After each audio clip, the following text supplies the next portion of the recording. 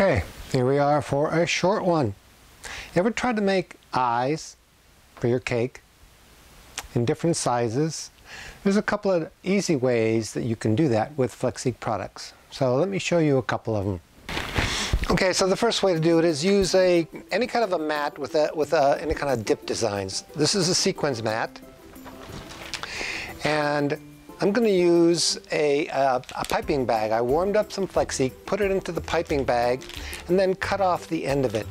Okay, I warmed it up now so it's liquid, and I'm just going to pipe right into a void.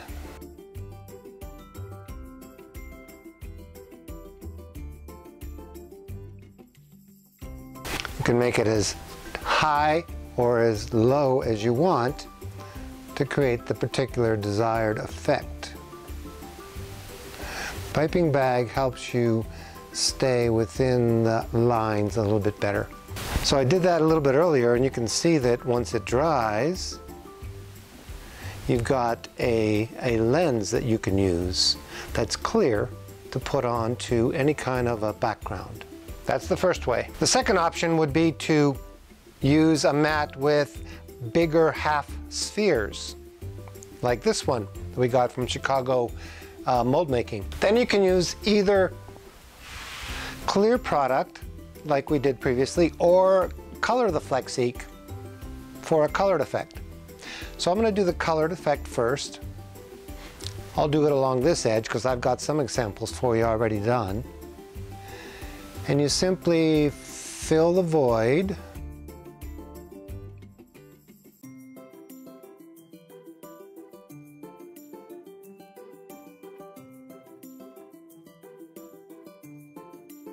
let it sit in there for a little bit and then dump it out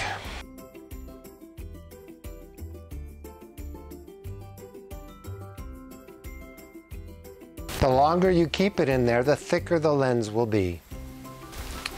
And there it is. So if you let it dry, I've got some here that I've done just a little while ago. Pop it out, and now you've got yourself a really neat lens that you can use for an eyeball.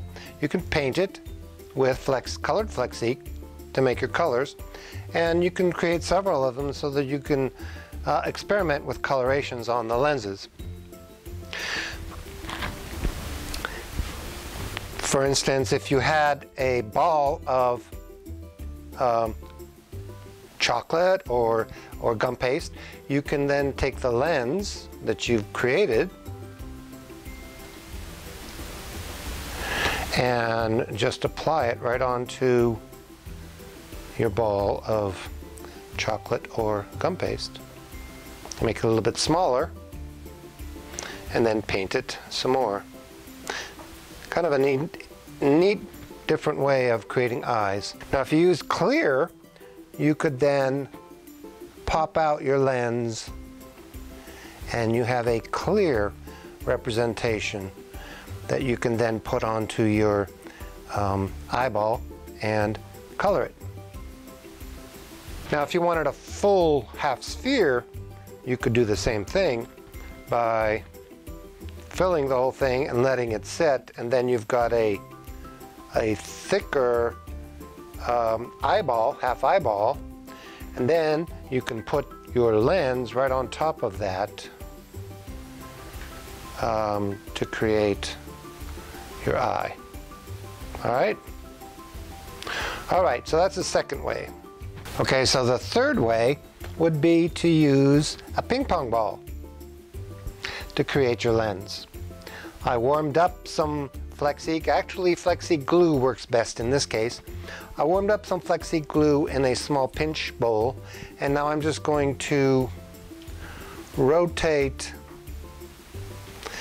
one half of that ball into the glue so that it's coated that part of it and then, since I drink, I have jiggers, I'm gonna just put that right onto uh, my jigger and then let it dry for a few minutes. And after it dries, um, a lot of it will come rolling down off the side of the ping pong ball. You can then just slice it evenly all the way around. And then when it, after it dries, you can lift it right off. I've got one that I did earlier just to show you what it looks like.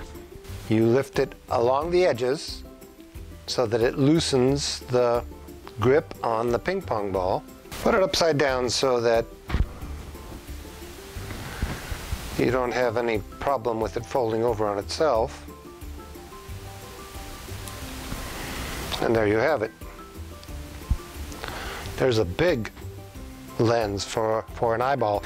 So you can then apply it onto your ball of chocolate or gum paste or fondant and color it so that it reflects the, um, the design that you're looking for.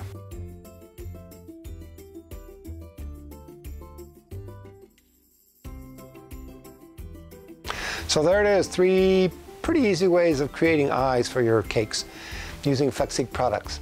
Check out the other tutorials that give you different things that you can do with Flexique on Flexique YouTube. Give us a thumbs up, subscribe to our Flexique YouTube channel, and let people know that this information's out there. We'll keep bringing you information as we develop it, so keep staying tuned in, and we'll see you next time.